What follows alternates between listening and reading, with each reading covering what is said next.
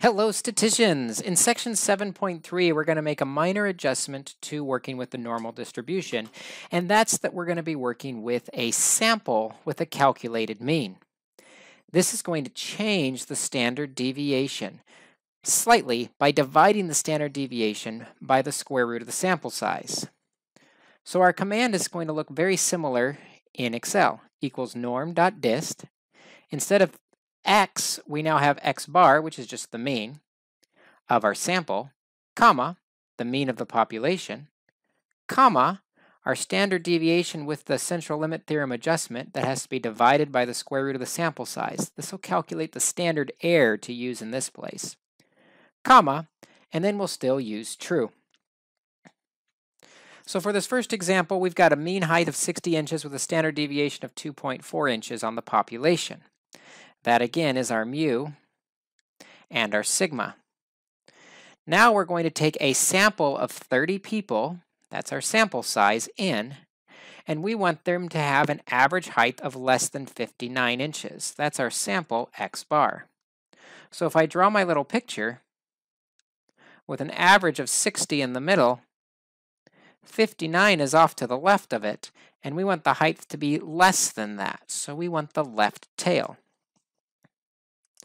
Just like before, we'll start with equals norm dot dist, open a parentheses, and we're going to start with the x bar of 59, comma, the mean of the population, 60, comma, and for the standard deviation, this is where we use the central limit theorem formula and take the standard deviation of 2.4 and we divide by the square root of the sample size with SQRT, open a parentheses, and the sample size for this example we said was 30.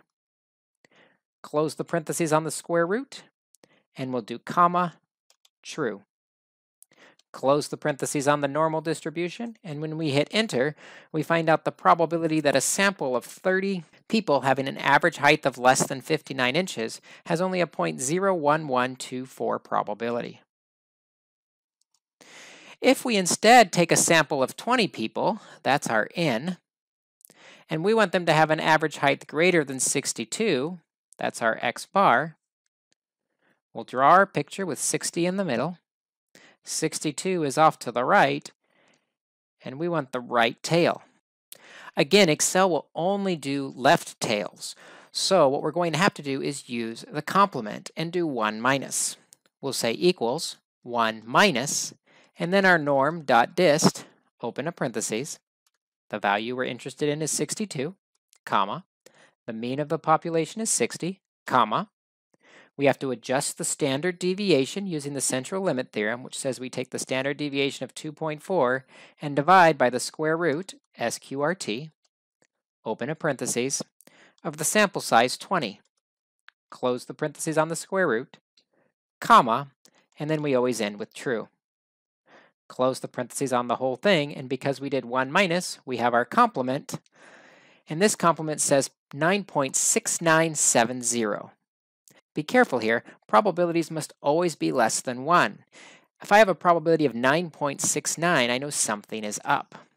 What I need to watch out for is that e negative 5, which tells me that this is in scientific notation. I need to move that decimal point five places to the left. One, two, three, four, five, which gives me four zeros in front. So my probability here is 0.00009697. A very, very small probability that we would have 20 people with an average height of greater than 62 inches. This last example says we're going to have a sample size of 10 people this time. If I draw my picture, with 60 in the middle, we want these 10 people to have an average height between 58 and 63. Just like we found before, we can find that between value by subtracting the two probabilities.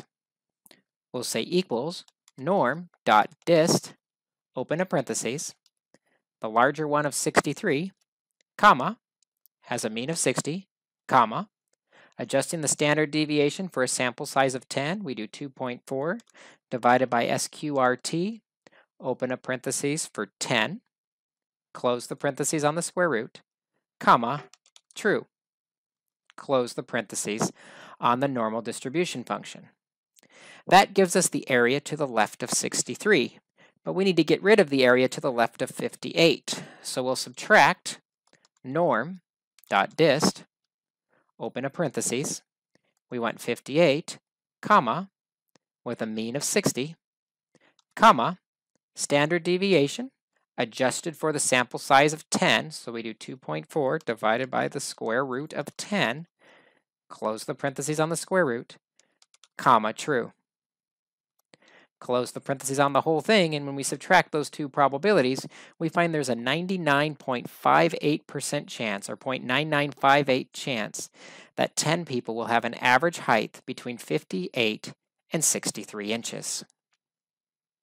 The only difference we see here with the central limit theorem is we have to adjust that standard deviation argument by dividing by the square root of the sample size.